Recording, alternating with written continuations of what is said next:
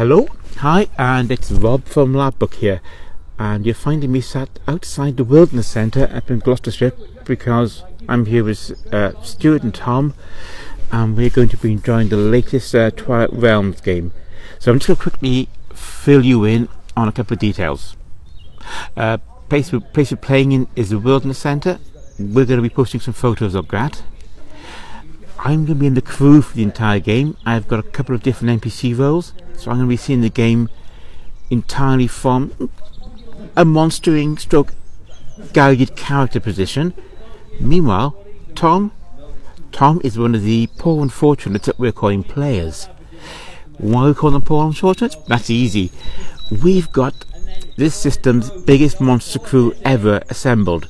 We've got new monsters, well established monsters, immediately in, bit monsters. You get the idea? We've got monsters.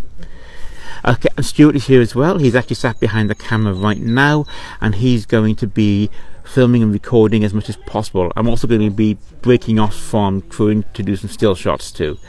So watch out for a few pictures during the event for Instagram. Watch out for a few more of these little diaries, and hopefully we'll be able to convey a sense of what this game is like. Uh, quick before I go now, it's got about 40 players, so it's not a huge LARP. Nice, nice small size. Um, as soon as I walked in, I got dragged into a crew meeting, and, and when we all saw how many of us there were, there were a lot of smiles. Okay, the players, well, there's some players just over there assembled, so I'm going to go and get my uh, costume on, and uh, I'll report back in later. Thank you. E- uh, email address. Okay.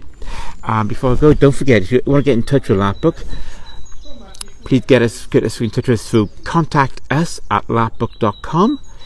There's also the website larpbook.com, and don't forget our Facebook page. Just search for LARPBook. Twitter. With Twitter, we are at Twitter. Yes, you're right. Stuart is reminding me of things I have forgotten about. Gah. Okay, and also now, if you search for the LARPBook, you'll find us on Instagram as well.